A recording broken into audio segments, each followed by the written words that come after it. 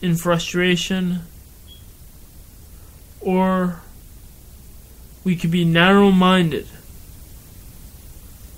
and get where we need to go. We could focus, we could navigate our way through the skies or through the ground to get to point A to point B. Now, you may say, why should I bother? Why should I navigate? Simple. If we navigate in our narrow mind to calculate our destination, we'll get there eventually. See, when I started writing those books, it was after I got sick and was in the hospital. It was around September, October. When it was October, I came back. I was furious. And I wrote. As I said, how can I be kept down? I'm going to start doing something with myself. And I did. I wrote many seem that just putting stuff out there. Maybe it was. But the fact is, I enjoyed creating. I enjoyed the creating process. I enjoyed coming together and doing things in my mind and putting things together. And I'm going to discuss more after this break, and I'm going to wrap up the podcast.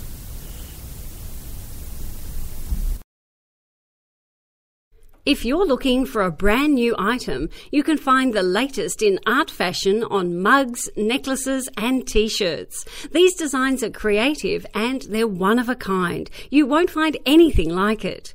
You can find it at cafepress.com forward slash Joseph Evaldi Creative Art. I personally recommend it.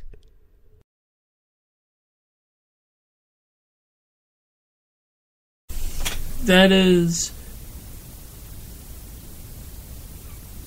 www.cafepress.com slash Joseph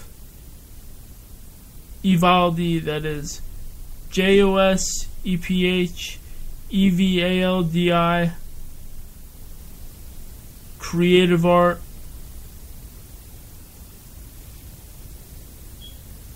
Back to the podcast. Yes, well, I'm going to wrap it up. It's doing the things that you enjoy and finding the passion for it. Well, it comes full circle. How do you find passion? Well, we do it. When I went through that gap, and I found the passion and I just did and I came out and I put out I enjoyed doing the things that I did. I enjoyed every bit of it. I enjoyed strategizing. I enjoyed doing the goals. I enjoyed coming out with the things that I enjoy doing. Now, I didn't have many friends at the time. I had one woman. That woman. Oh, you know the story. I don't have to recap. But let's just say finding the passion again and doing the things we enjoy, you know, I'm going to leave this podcast and I'm going to end it on this note. We find the passion to do hmm. things when times are bleak. We find the passion to do things when times are bleak and times are meek. And then we prosper and we come alive. We come alive through the daunting of times and we come alive through the times of pain. And we produce.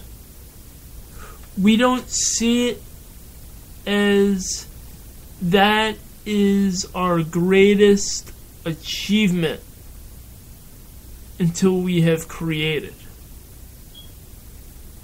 When I was down at that time, when I wrote, I didn't see it as a great time. But I wrote, then I looked back, and I created and I achieved. That time that I was down, that all hell was after me with finances, came up with art and I created through passion. And you know, maybe I don't have the time to do the maybe I don't have the passion to do whatever I once had, but I am creating it again and I'm finding new passion in the activities that I enjoy. And I believe that soon I will be creating the things that I enjoy in life as I move forward doing the things that I enjoy. Because what is life?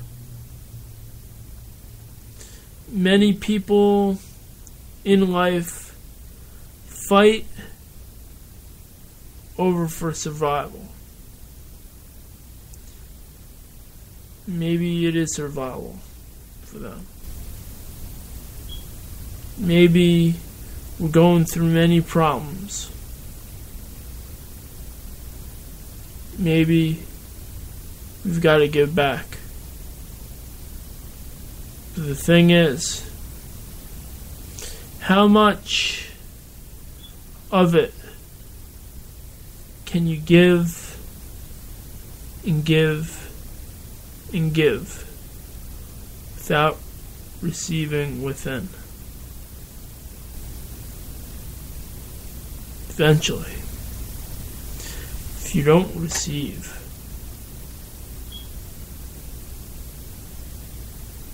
and you're not open, then your passions become dull and your activities become routine. That's why create zest and put life into those activities. And I'm going to wrap this up by saying your activities are you. Make it your best.